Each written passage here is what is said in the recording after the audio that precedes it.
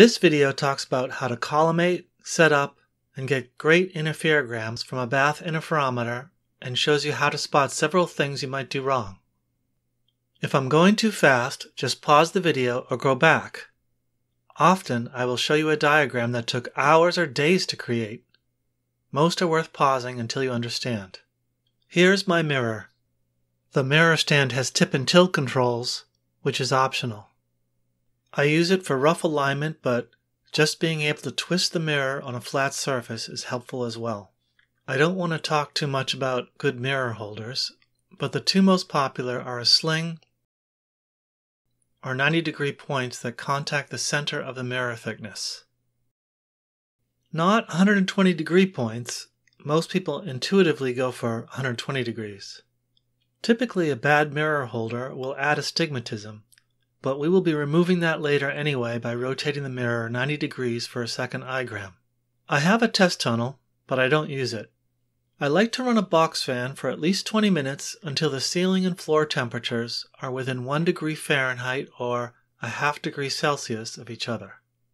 This won't affect rough measurements like learning if your mirror is under or overcorrected, but it is important to get an accurate value for your mirror's astigmatism. If you have bare concrete floors, then you probably can't get the two temperatures the same. Strongly consider adding rugs to the floor, or building a test tunnel, or just ignore astigmatism and coma, as the other measurements will be spot on. My floors shift as I walk around, which moves my interferometer, which is annoying, but I've gotten extremely good at dealing with this. It's nice to have convenient light controls where you can brighten or darken the room easily and quickly. I put the bath on a tripod, and Dale's XYZ stage has a tripod connection at the bottom. I put the camera on a separate tripod. More about the camera later. Twist the laser such that the beam is at roughly 45 degrees as I show here. This is important to get the test and reference beams roughly equal brightness so you have cleaner I-grams. You want to be able to see both beams clearly in the final I-gram to get a good interference pattern. At 45 degrees, you will mostly get roughly equal brightness where the test beam is mostly polarized one way and the reference beam is mostly polarized the other way. This is what polarizing splitters do. I explain this in detail in my video, How to Get Super Clean Interferograms. If you have a laser that is easily focused, focus it on the mirror now. I've gotten fantastic I-grams with the laser focused to infinity, which is typical but ideally you want it focused to as small a point as possible on your mirror being tested. I'm assuming you focus the laser when you already have the bath positioned at the right distance. Position the laser such that it roughly appears to be going through the center of the splitter, halfway horizontally and halfway vertically. The bottom portion of my cube is obstructed by the holder, so I position it halfway between that and the top of the cube. This avoids clipping the conical beams on the inside of the splitter. Rotate the cube a tiny, tiny bit. Rotate it such that you can tell it's not perfect, but as close as possible to perfect, where you can still see there is a slight rotation. This will be about 1 degree, which is good enough for f4 or slower mirrors. For very fast mirrors, f2, you want 2 degrees rotation of the cube. This keeps the double dot internal laser reflection out of the I-gram. It's not critical, but it's worth doing the rotation. I show this also in How to Get Super Clean Interferograms. Now aim your bath laser beams at a wall or similar, ideally less than a meter away so the beams are bright. Push the diverger out of the way so you just have the two laser dots. Now we adjust the flat. First try to position the flat so that the laser beam hits the center of the flat, yet the flat is still at about 45 degrees. You don't want the return cone of light clipping the edge of the flat. I'll show that later. Now adjust the tilt and tip of the flat so the two beams are parallel. My beams are about 15 millimeters apart here, as you can see, so I make sure they are still about the same distance out at the wall. Now insert the diverger on the left beam, which is the test beam. Center the light pattern where the test beam was.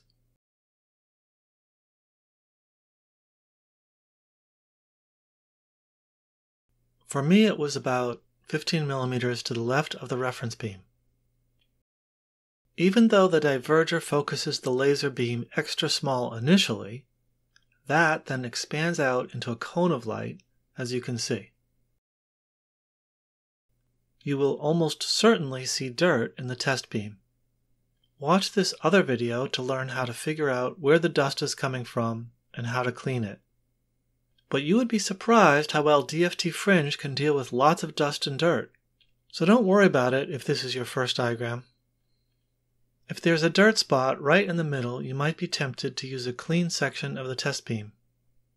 There is a right way and a wrong way to do this. The right way is to adjust the diverger to get a usable area of the test beam centered on that reference dot. The wrong way is to move the flat around to get the reference dot on a usable area of the test beam. In other words, when the diverger is removed, the two beams must be parallel.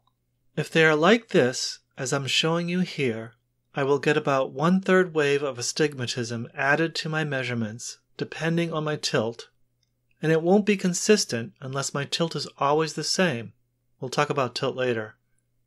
To make things worse, the angle of the astig is related to the direction the beams are separated, but also the direction of the tilt, and it's complicated. Just doing left and right tilted I-grams may cancel the astig or may increase the astig. So make sure the beams are roughly parallel. Okay, now we are done with aligning the laser, the splitter, the diverger, and the flat. Don't touch them again. Well, you likely will have to, but every time you touch any of these, you will need to start over. Recollimate, as we just did, and throw away all I-grams you just took and start over. This is because changing any of the positions of these optical components may also change the measured astigmatism. You will likely have to go through this short procedure dozens of times, and that's fine. I do it every time I take a set of I-grams. If I'm doing 80 I-grams, 10 at 8 different rotations of the mirror, and I bump any of these optical parts halfway through, well, that sucks, as I have to start at the beginning again. It's okay to move the entire bath, as long as the laser, splitter, diverger, and flat stay in the same relative positions. Speaking of moving the entire bath, because we rotated the splitter, the beams coming out of the bath are angled a bit. We want the beams lined up with the Z-screw on the XYZ stage. This is not mandatory, but will save you time later when adjusting the Z-screw, so you don't have to constantly adjust X and Y at the same time. In other words, if things are crooked and you adjust along the Z, now you've also moved an X and have to undo that. So let's do this now.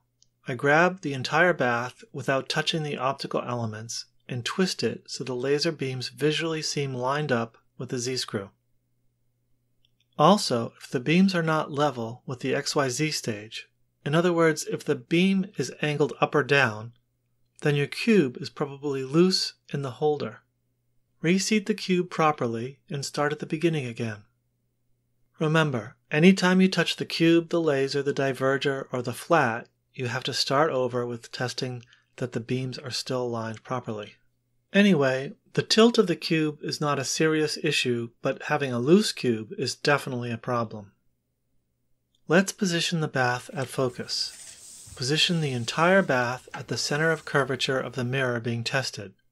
That's twice the focal length. This is the same position for doing a Foucault test or a Ronchi test. Position it roughly correct, and we'll refine the position in a minute. Point the bath at your mirror under test. Aim the bath such that you can see the reference beam dot is on the mirror, preferably the center of the mirror.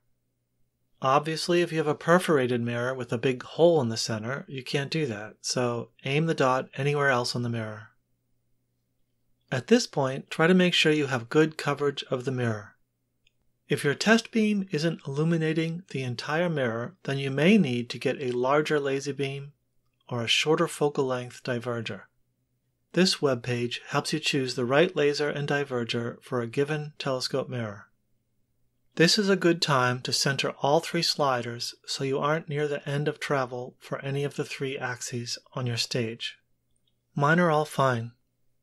I'm going to purposefully position the bath a little low so that the two returning beams come back a little high. So again, here we see the test beam, the conical beam, expand until it reaches the mirror. Then it comes back, as you can see here, and converges right about here. So we want to move the bath halfway to this point, or about here. I'm not worrying about the vertical height yet, so I move the entire tripod and bath to that halfway point. Oh, and I make sure the test beam is still pointing at the mirror. It doesn't have to be the exact center as I will be moving the tripod a few more times and it doesn't seem to make any difference where that reference beam is touching the mirror. We want the conical beam to come to focus over the back of the splitter. Right now I mostly care only about the distance from the mirror to the back of the splitter. It's converging here about 3.5 centimeters in front of the back of the splitter. By in front, I mean closer to the mirror, to the right. Each square in this graphical grid overlay is about 1 centimeter. So we want to move the tripod half that distance. The yellow dot is at the back of the splitter. The teal point is where the return focus is. So we want to move the tripod forwards by half that distance. So again we move halfway to that position, about 1.5 centimeters towards the mirror. So I moved slightly too far, but good enough. We check for the focal point and it's just a little behind the back of the splitter. Close enough. We can fix that later with the Z-screw on the XYZ stage. So for pretty much all configurations, you want the conical beam to converge directly above the back of the splitter. Again, we are only worrying about the distance to the mirror when I say this. It's actually going to hit the flat when we are done. Anyway, getting this correct now will save us lots of time later. The desired point of focus for the test beam is beam separation distance plus diverger focal length behind diverger, which is where this green dot is in this handy tool. So it varies based on your beam separation and your diverger position and focal length, but for now you can ignore all that if you want and position the focus of the returning test beam over the rear of the cube. If you don't understand this part, it's not critical.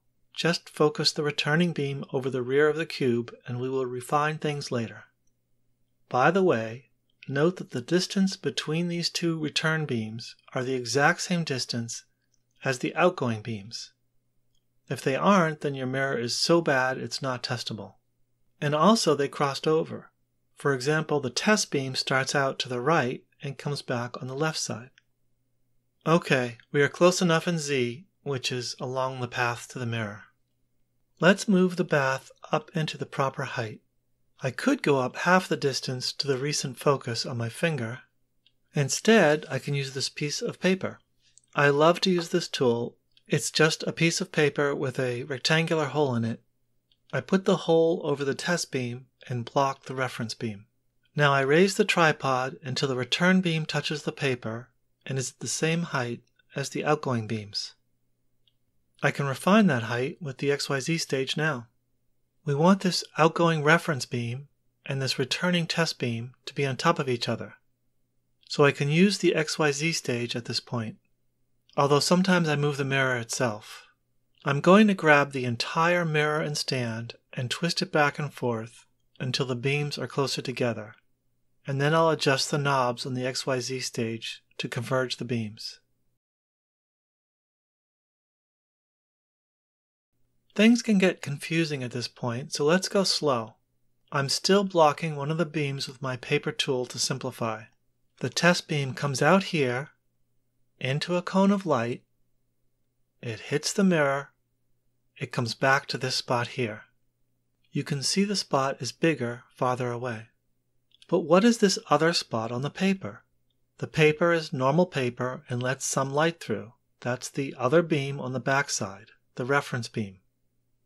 So all at the same time we can see the reference beam coming off the flat but stopped by the paper, and we can see the returning test beam. Let's go around to the other side of the paper. I can block the reference beam. The test beam is here, but it's quite faint as it's from the other side.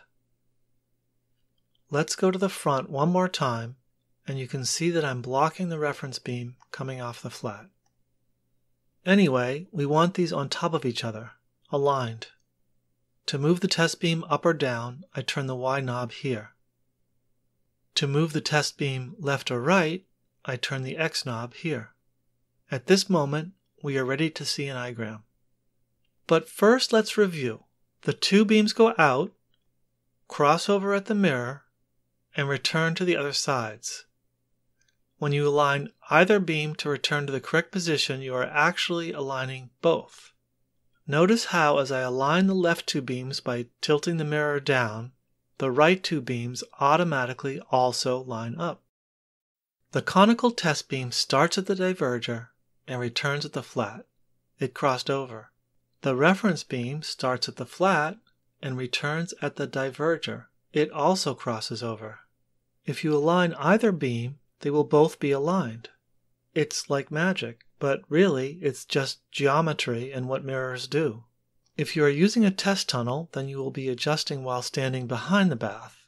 You can insert a piece of paper into the returning conical beam and move X and Y knobs until the beam on the back of the paper is lined up with the beam on the far side of the paper. Now that the two beams are roughly aligned, pull out the paper tool. Now, during recent moving of things around, the test beam is definitely on the mirror, but the reference beam may have drifted off. Here we can see it's still on the mirror. I'm not going to bother centering it as this will work fine.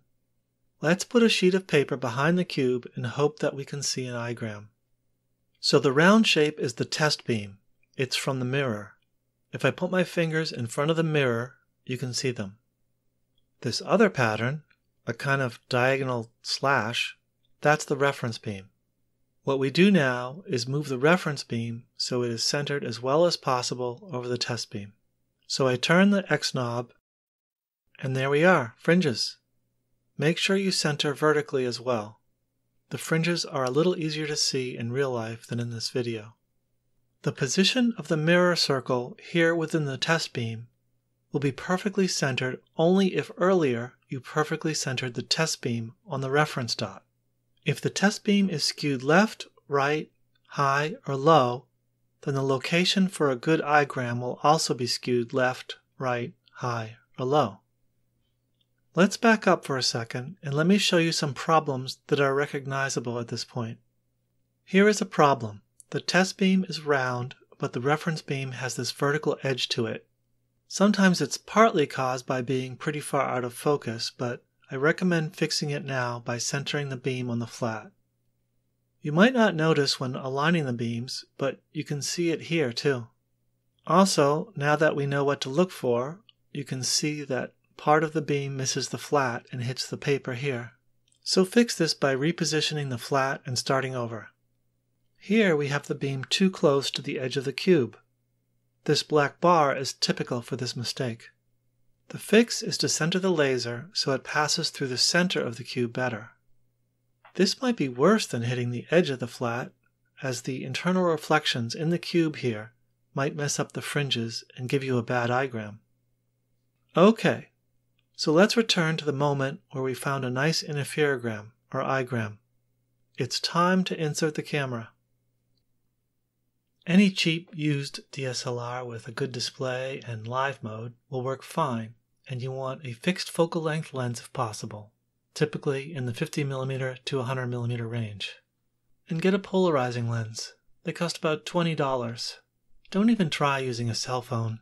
There are much more details on how to choose a lens on the gr5.org/bath webpage. My DSLR, the Nikon D7000, can be bought used for about $200 and another 50 to $100 for a 50mm lens. Some cameras may have to touch or almost touch the splitter. My 85mm f1.8 can be quite far back with my f5.4 mirror. If I had an f3 mirror, the cone of light coming from the splitter would be twice as fat, and I'd have to get my camera half this distance from the splitter. I have my camera on a separate tripod, which isolates vibrations nicely. Next, we focus on the mirror. I make sure the camera is on manual focus and manual exposure. I move the camera above or to the side for this step so the iGram doesn't distract me. Make sure the aperture is as wide open as possible. With the room lights on, I crank up the ISO to 1600 and slow the exposure to whatever is necessary to see the mirror clearly. I do a quick focus in live view, then I digitally zoom in to see the mirror edge better and do a more accurate manual focus. Done. Focused. I'll switch the camera to the minimum ISO and one thousandth of a second exposure and put the camera back where I had it. By the way, for uncoated mirrors, everything will be 10 times darker, but it doesn't change anything in this video except of course the camera settings. Here I'm showing an uncoated f10 mirror, and I found ISO set to 400 was ideal. Anyway, back to where we were a moment ago. Positioning the camera. That round circle is the test beam, and that is the reference beam. Ignore the reference beam for now while we center things. This inner circle is the test beam, but I'm going to call it the mirror for now. So I'm about to move the camera in five axes at once, and it's a bit confusing. You can do these five in any order. First, I do some tilting of the camera in three axes so that it is level with the horizon and the mirror is centered in the display. I can twist left right, which is called yaw. I can twist up down, which is called pitch. And I can twist to level, which is called roll. So I'm centering all three at once, putting the mirror in the center and horizon leveled, and then I lock the tripod head. So for the next two axes, let me first overexpose so you can see the camera cropping circle better. I want to center the mirror in this outer circle here by moving the camera and tripod up, down, left, and right. No twisting or rotating are involved for these last two axes. So I move the tripod up, oops, wrong way, down. Perfect. The final axis would be to move the camera left or right, but it's already fine. If you have a polarizing filter, rotate the polarizing filter to make the reference beam and the test beam about equal brightness. I should have done this as soon as I saw either beam in the camera. Here's an older video of me inserting and removing a polarizing filter. You can see how much it improves the iGrams. It's not mandatory, but it helps a lot. Okay, now let's play with the X and Y knobs on the stage and try to center the bullseye. First I adjust the Y, the vertical, then I adjust the X. Try to center the bullseye pattern. I didn't do a great job in Y, but I'll fix it in a minute. By the way, look what happens if I go to f4. If you are an experienced photographer, you would expect the image to simply get darker, but interferometers are weird and instead it crops your view. If I go to f8, you might think that you are seeing the whole mirror, but you are only seeing part of the mirror. It would be a disaster to use this as your iGram. At least here, it's kind of obvious as you can see the aperture blades. But if you had the camera too far from the splitter, it wouldn't be so obvious. Here the blue arrow points to the edge of the mirror, but if all you could see was mirror, you might get the cropped field of view confused with the actual edge of the mirror. Now, we are quite a bit overexposed. If I take a picture and look at the histogram, you can see that we are beyond one third of the histogram. Since we should only be exposing the red pixels, we shouldn't be able to get beyond one third to the right in the histogram. So this is overexposed. Even at one four thousandth of a second, it's slightly overexposed. My mirror is coated. For uncoated mirrors, you don't need such an extreme exposure. Anyway, I switch it to one eight thousandth of a second, which is the best my camera can do. Okay, let's center that bullseye pattern in X and Y. Now I like to find the Z position where the iGram is at the focus point. I think the correct term is positioning the bath at the conjugate plane but I just call it the focus point. One way to do this is to center the bullseye pattern and then count the rings. I see about 17 rings. Then turn the Z knob 10 turns and see if you get more rings or less. If you get less rings, you are going the right direction. But I prefer to do it another way. I push on the bath vertically or horizontally and I watch the bullseye. See, when I push the bath to the left, you can just see me pushing here, the bullseye moves to the right. I call this opposite. If they move the same direction, I call it same. If you have your bath set up like this with a camera, and if the camera is aimed towards the mirror, then same means inside focus. Inside in this case means closer to the mirror. But we have opposite, so we are outside focus. So we want to move the bath towards the mirror. This means I twist counterclockwise. Two, three, four, five, six, seven, eight, nine, ten. After 10 turns, I have to adjust x axis. I guess I didn't align the z axis towards the mirror perfectly. Well, that's much less than 17 rings. Let's do 7 more turns, pushing the bath towards the mirror. One, two, three, four, five, six, seven.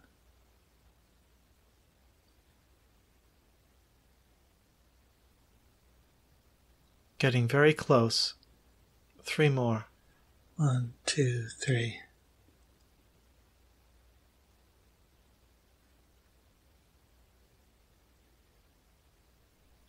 Very close. Three more. One, two, three. Let's try to center the bullseye better. First, I move the x axis, then the y axis.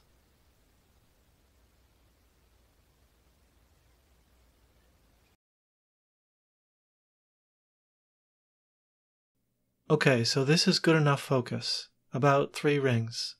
Much better than necessary. Now we want to add some tilt. I'm turning the X knob clockwise. The more I turn the X knob, the more fringes we get. Do not do only three fringes. This is not a Ronchigram. This is an interferogram. Dale says you want a minimum of 18 fringes and a maximum of 3 pixels per fringe. He usually goes for 40 to 50 fringes, and that's what I like as well. The most I've ever done is 360 fringes, as you can see here. DFT fringe was fine with his iGram, but when the fringes get this small, you have to worry about your DSLR lens distortion, which will add some significant spherical aberration. Email me if you need fringes this small, and we can talk about characterizing your lens distortion. This is about 35 fringes. I'm doing a bit fewer fringes than usual right now, just so you can see this for the video. Let's take a picture. It's picture 845. Here it is off the camera. Very nice. When we turn the right side X knob clockwise, that moves the bath to the right which is the same as tilting the mirror, such that the right side of the mirror is now a few waves closer to us and the left side is a few waves farther. We call this tilt. More tilt causes more fringes. If you are testing a sphere, or if there is the slightest chance this mirror has opposite parabolic correction, which is pretty unlikely, then make a note somewhere that indicates which way you move the X and Y knobs as you'll need this information later in the DFT Fringe software. Notice I wrote down the photo number as well. So I just write x tilt plus.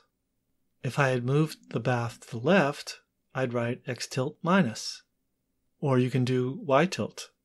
Alternatively, I make sure the mirror is definitely inside or outside focus, and for outside focus, I write defocus plus. Then, the first time you analyze an iGram in DFT Fringe, if DFT Fringe asks if you want to invert the wavefront, hit No. Then, look at the Zernike terms. If you wrote xtilt plus, then you need to expect the xtilt Zernike term to be a positive value. If it doesn't match what you wrote, click the Invert button. Now, the DFT fringe X tilt term matches what we know to be true. I talk a little more about this in my Zernike video at 1610.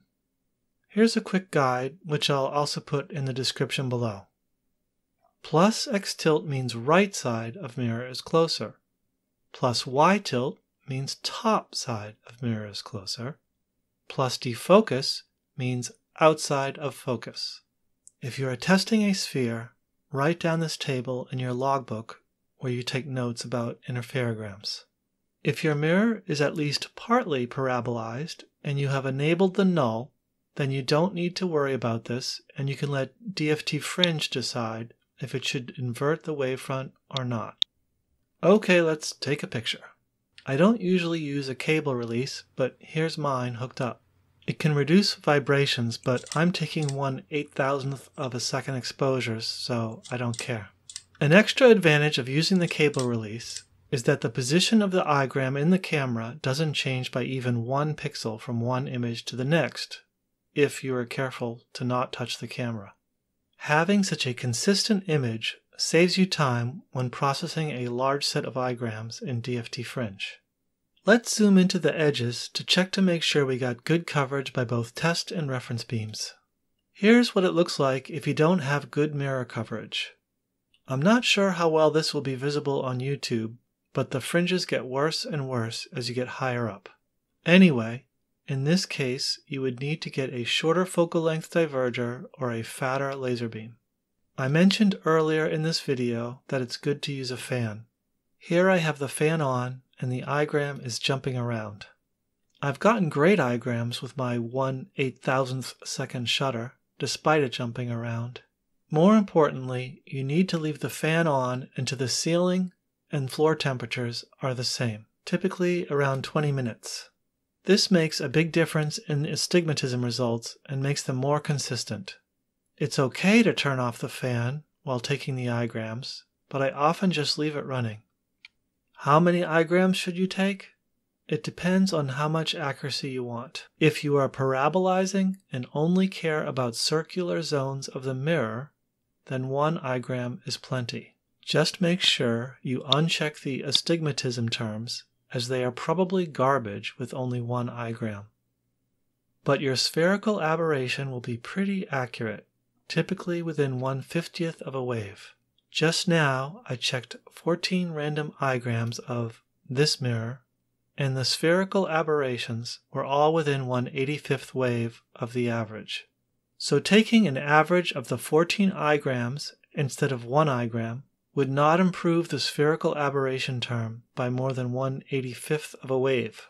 In fact, with just this one igram, you can see the mirror is 19% over parabolized, and you can see we are only out by 0.088 waves in spherical aberration and 0.153 waves in second spherical, but I'd ignore all that and just try to polish down this ring zone here, about 60% out from the center.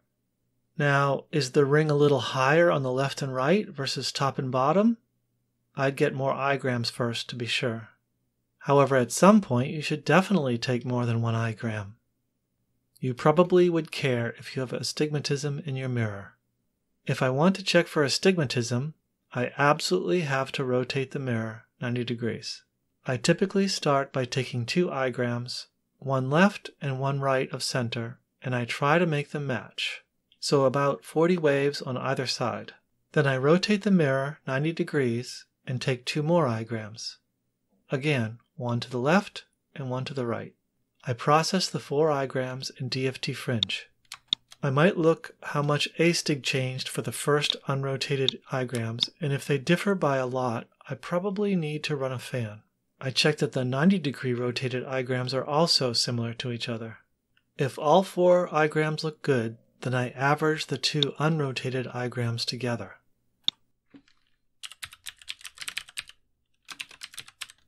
I then average the 90 degree rotated igrams together. Then I back rotate the 90 degree rotation in DFT fringe. Then I average the first average and the second average together to get a final result that should remove astigmatism caused by the mirror stand, air stratification, beam separation, and any astig from the optical elements. I happen to know, based on 65 older igrams, that this mirror has X astig of 0.069 waves and Y astig of 0.058 waves, which is within 0.01 waves or 1 one hundredth of a wave of what I got with just 4 igrams. And if you want a super accurate wavefront, then you can do what Dale does and do 32 or even 100 igrams. Here, this diagram is trying to explain what Dale does. He centers the bath so the fringes look something like this, then he may move to the right taking an igram. Then move a little farther and take a second igram.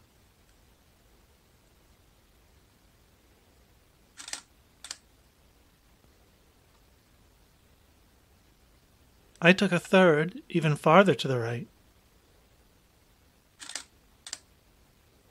He might take even more, but typically he might just take two. Then recenter and take one to the left.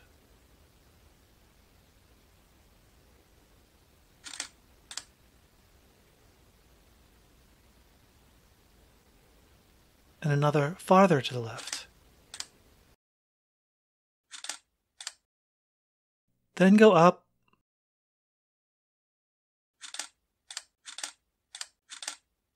then down, then do the diagonals where you go up and also to the right. Notice how the fringes are now at a diagonal. Repeat lower left, and then do the other diagonals. The order that you move isn't important. You could start with a diagonal, it doesn't matter. So 8 tilt directions times 2 or more tilt amounts gives you at least 16 igrams, if not 24. He also usually moves the reference beam to be aiming at different spots of the mirror because some small areas of the mirror may be better than others. Then he repeats those 16 or more tilts and distances, but with the mirror rotated 90 degrees. So that's around 32 igrams total. In rare cases, he will also do mirror rotations at 45 and 135 degrees. And for just a few mirror tests ever, he did eight different mirror rotations every 45 degrees, which would be well over 100 igrams. Taking so many igrams helps with two things. It moves the dust around, so dust introduced errors get averaged out, and also it helps if you have print through, which is mostly caused by overexposed igrams. Print through is when you can see the fringes in your wavefront. So that's it for now. This should be all you need to get some good igrams. After you get some good igrams, watch my DFT Fringe Quick Start video on this same channel. I sell bath interferometer kits. My store is here, and it starts out with a guide to help you choose what diverging lenses you need to test your mirrors and fills your cart with suggestions which you can then alter. I'm happy to give anyone all my sources where I buy parts and my design files for all my 3D printed parts, so just ask. I have other advice like choosing camera lenses at gr5.org/bath. Good luck!